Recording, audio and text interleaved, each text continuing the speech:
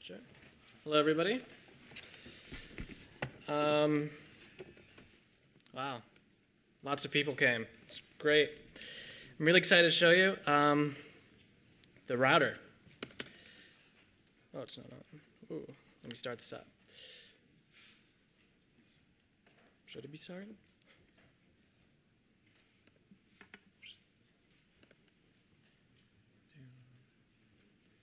Sure you to screen? Ooh, it says. One sec.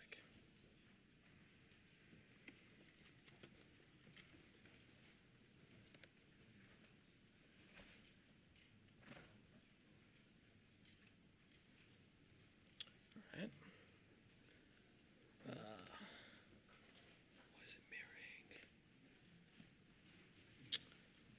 Of course, everything's there. Uh,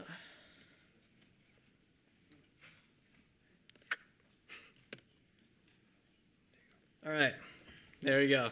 Um, 25. All right, got 20. All right, 25 minutes. Everything the router can do in 25 minutes, right? All right, so we're plumbing the router. First, who am I? My name's Carl Lerche. Um, oh, known as Carl Lerche on IRC, very imaginative. And um, I am an Engine Yard employee. So, um, as Ezra mentioned in his talk, um, some things that MERB strives to be is simple, modular, flexible, and hackable. So I'm going to try to run through everything that you can do in the router. Well, okay, not everything, but a good chunk of everything you can do in the router, including um, how you can hack it, which is actually really cool. Um, so I'm going to assume everybody has built routes in Rails, so know the basics. Um, routing a request to a controller and all the parameters. So just to show some of the syntax, um, this will be in the router file if you build a new MERB app. It's just going to be a MERB router prepare block. So everything I'm going to be showing is pretty much going to be in there. Um, match sign up to controller users action new. Very basic route. Um, match sign up to users controller and the new action. And we are going to name it sign up and you can regenerate it. All right. Moving forward. Routes with variables, also probably you would have expected this. Same syntax as in Rails. Um, build the route, set some placeholders in it, and um, the router will extract those parameters for accessing the controller. And you can regenerate it. Um, routes with conditions. I'm actually, you know, sneaking in some more uh, features in here, just to show you that um, when pretty much in order to be flexible, you know, anything, any single method that's available when building routes, you can pass a block to it, and those settings will be um, applied to every route declared in that block. So here I'm setting match. I'm setting a prefix for every route declared in there to articles. Do with controller articles. So every route in that second block is going to have um, the controller set to articles and match the placeholder title. I'm setting a regular expression on the title to match it. And the next route, same format, but it doesn't have a condition on the placeholder. So that path, hello world, will be routed to the um, with title action and the second one with the ID. All right. Okay, so here, this is really cool. You can match, use any method on the request uh, object in to, to route the um, the request. So, for example, here I'm saying domain blog of awesomeness. Domain does not have any special meaning in the router. It's just saying take the value of that's returned by the method domain on the request object, which and is blog, blog of awesomeness, and test that. So you can actually extend the router object, add your own custom methods, and it will work in here. So custom methods, whatever you want in there. Let's see. And yeah, just examples there. Let's see. So this is, I think a lot of people do this, the subdomain problem. Um, just you want to extract a value from the subdomain, which is just another method on the request object. So you can, the request is coming in, it has some arbitrary you know, value that's returned from the subdomain method. And we're saying, okay, we're going to match the regular, use a regular expression to match it and extract the, the value of the first capturing parentheses to the parameter account. So when the request comes in and is passed through the router, there are actually two parts that happens. First, it goes through each route and it's going to check does the request match that route. And that's everything that's going to be defined in the match methods here is what tells the router how to match a route. Then the second part is extracting the parameters that are returned. So here I'm going to just extract the subdomain, you know, a value from the subdomain so that, so that I can return it to um, my controller, and that will be available in the controller. All right. Starting to get a bit fancier. I think this is really cool. So when you're matching a path, um, you can wrap any bit of that path in a set of parentheses, and that will tell the router that that section is optional. So, and you can nest them, like I'm showing here. So, pretty much any set of combinations, you know, articles, year, title will work. Articles just title, articles year, month, title. And it's smart enough to actually, you can put those um, optional segments in the front of the path, in the end of the path, in any part. You can also put it in a match block that's at the top, the very top of the router file, and include every route in it as an optional segment that is matched. Like, um, yeah, I think that's pretty cool. And generation still works. It, when you generate the route back, it will check to make sure that all the, param- the necessary parameters are there and put them in the right spot. All right, let's get a bit fancy. Not only can you specify um, segments as optional, you can add regular expressions to match it, which will override the, by default, a name segment will be everything between two slashes or a slash and a period and a slash and a semicolon, I think, but a certain set of characters. But you can override that regular expression, and here I'm just saying match absolutely anything, but it's at the start, so and wrapped in a set of parentheses. So it is optional and it's going to try to match the file part first. So those are some examples of paths and what it matches to. And you can still generate that route. So I've actually seen a lot of router files where about five, six routes listed one after the other can actually be expressed as one route. A lot more concise, a lot pretty flexible, I like to believe. And just to show it, like, this is actually extracted from the MERB code. This is how I implement the default route. It's just a combination of a match and a two. Controller action ID format. And, oh, all right. I think that's awesome. So, all right, everybody I'm sure knows this. And oh, and if you actually look at the source code, for the most part, it's just a, a set of match to name segments. So it's just using um, the features I've showed before. And you can nest them, generate it, same. Nest multiple times. I mean, comments, you know, articles as many comments, songs as many, as many comments. And generate it. Wait, okay, I made that ugly on purpose. um, but I'm just illustrating that to generate the route, you, you need to know, because there are multiple um, comment routes, either article has many comments, so if the commentable is an article, generate the article one. Anyway, that's pretty annoying. I'm guessing you're expecting something better on the next slide. What about that? All right. So, when you're building your routes, it's when you're building a resource route, I actually try to guess the class, and it's overridable if it's not standard. And so when you use the, the resource method is actually it's just going to be a shortcut to picking the route and rendering it, so um, generating it. So all this, all the features that are before, um, that I showed before, still work. So, for example, you can match, you can wrap resource routes around a prefix that has some placeholder in it, and it still works the same. And I'm actually showing something. Yeah, I'm slipping in another feature. So when generating that route, like a task route, it knows that there is a requirement for a project parameter. And in the first version, I mean, first call, I'm not specifying it, but it knows it needs one. So it's going to pull it from the current set of parameters. I mean, a lot of the time you're just re-putting the same names over and over again. That got annoying, so I did that. And you can override it, obviously. Awesome. this will clean up a lot of code. All right, so friendly URLs.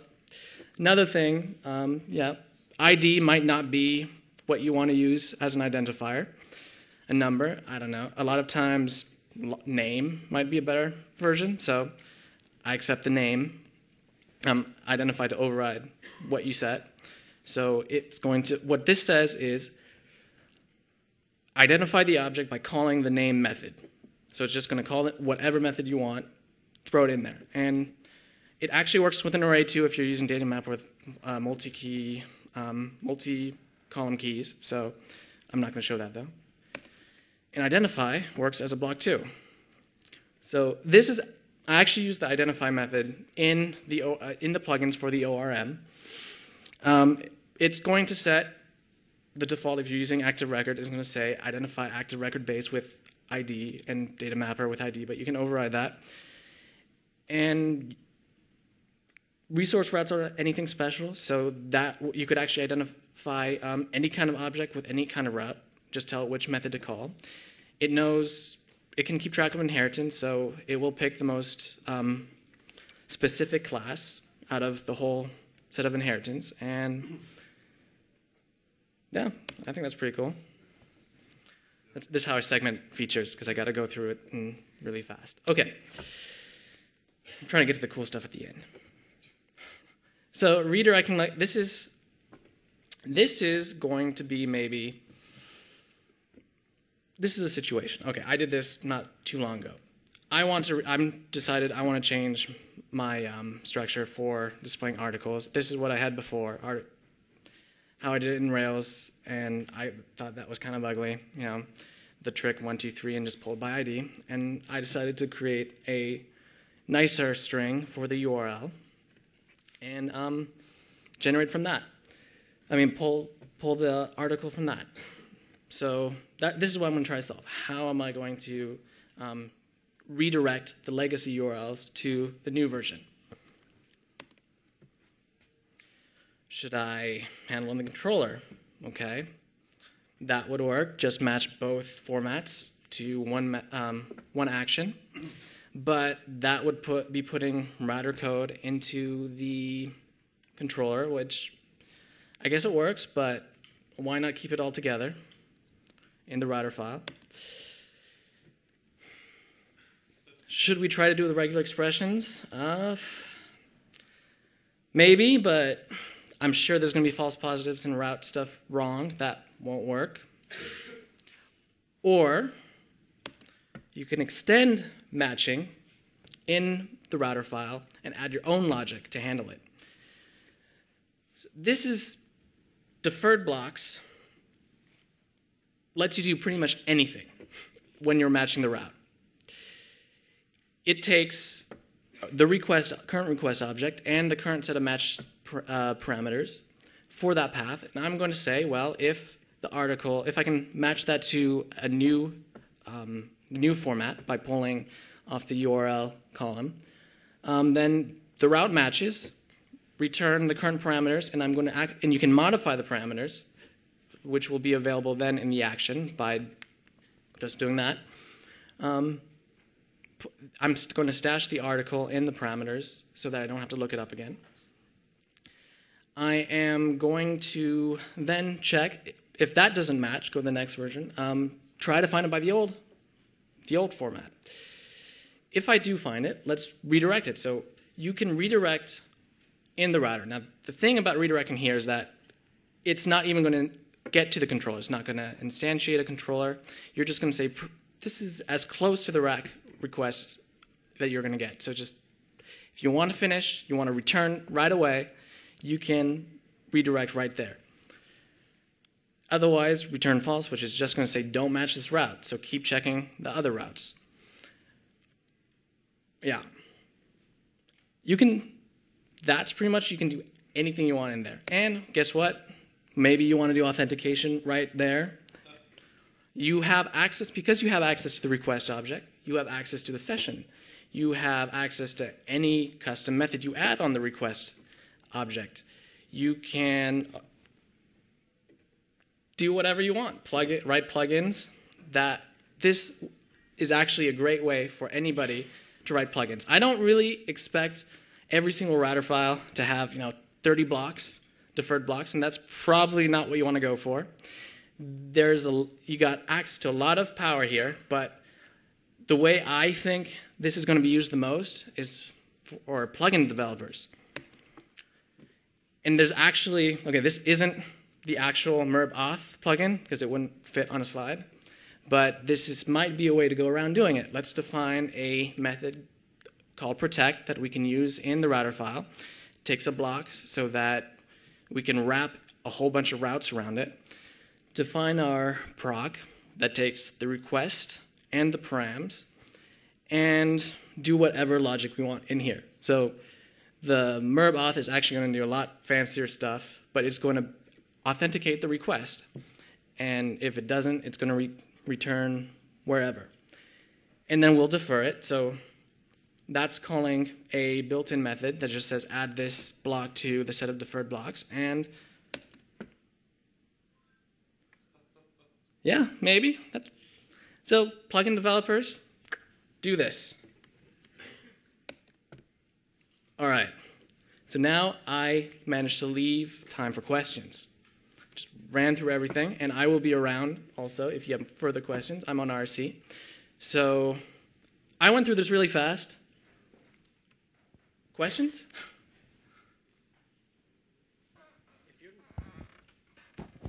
If you're nesting routes, uh, do you have to specify the controller uh, for the nested, or excuse me, nesting resources routes? Uh, do you have to specify the controller as, uh, say, I have comments on uh, sites? do I have to specify the controller for the N word as sites slash comments uh, specifically? If I'm putting the comments controller inside of a module called sites? No. It's going to namespace everything. I left out all the namespacing features because, well, I mean, it works roughly the same as Rails.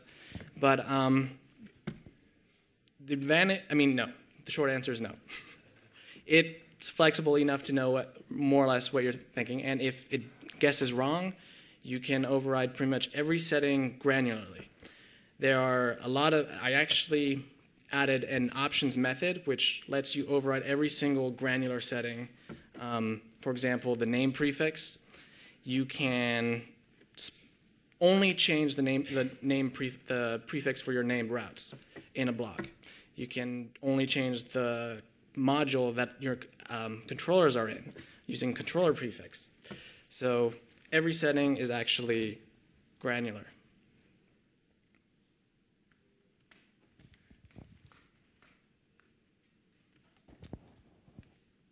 Hi. Um, going back to the RESTful routing, mm -hmm. I was wondering if there's been any consideration for having a fallback um, delete action uh, like a get for deleting if you're doing like unobtrusive uh, post requests for doing deletes?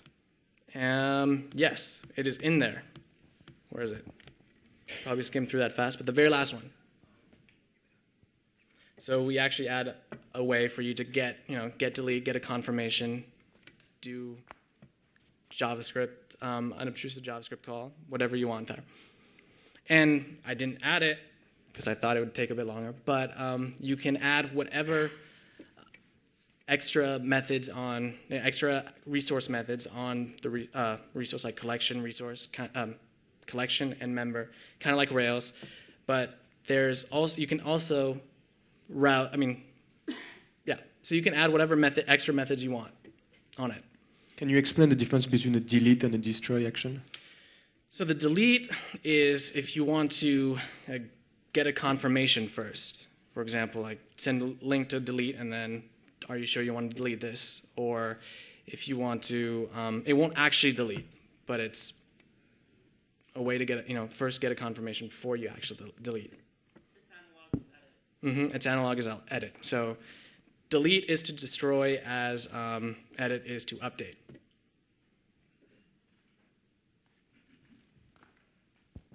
So we've got a guy on IRC, IRC who wants a question. Uh, he's asking any ideas on how to make the router extensible. deferred blocks. You can do anything. Or was it? Woo.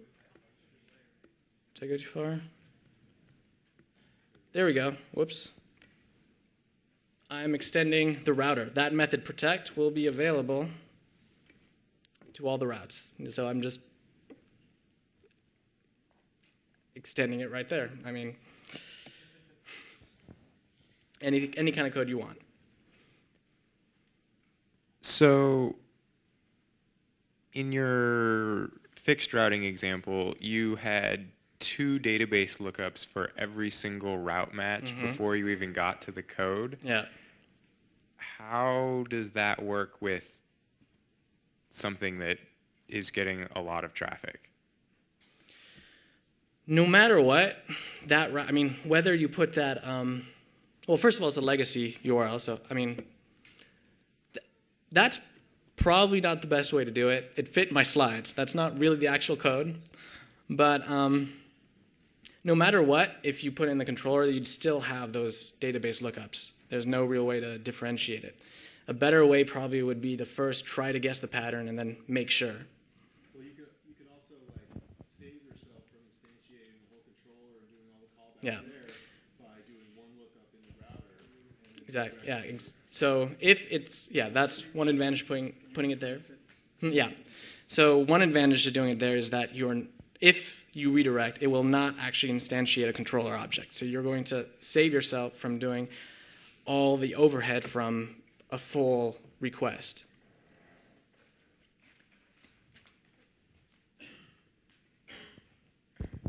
Yeah, even in that case, there were a couple of tricks that he blazed over pretty quickly that made it not as egregious as perhaps it seemed. Let me put it back. Um, Where was it? Um, think it's further. there we go.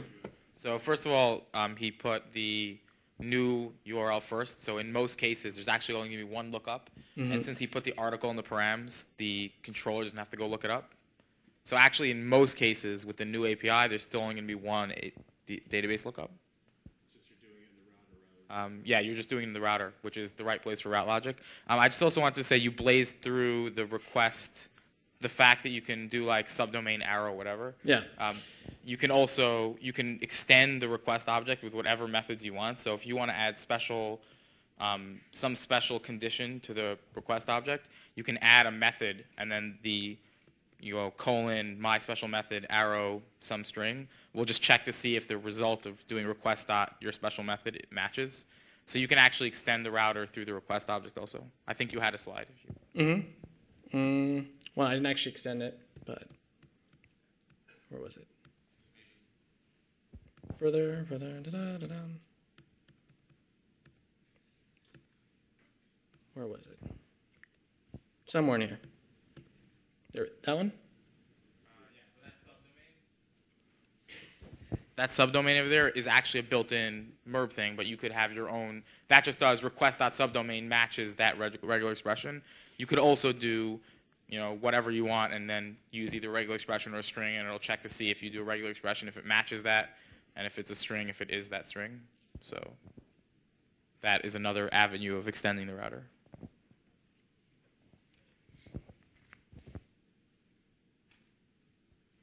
Can you just go back to identify and show us how you Mm. do the, the friendly URLs? Because that was really quick, and, but really cool. Where was it? Is it before or after? Oh, there we go. So, yeah. The trick is it doesn't have to, I mean, we're not tying it to an ORM class. We're, we don't have a method that you have to implement, like to param. You can just add, and another thing is that it's, if you do it in the block, it's not global to your entire route. So like in one section you might want to use one method like the pretty the login and another place you might want to use id so though that information is going to be tied to the actual routes as opposed to application wide If you go back to the previous slide, here you say identify name. Can I use a method on my model? yeah that Also- is the name method on the model so it could be anything you implement on the model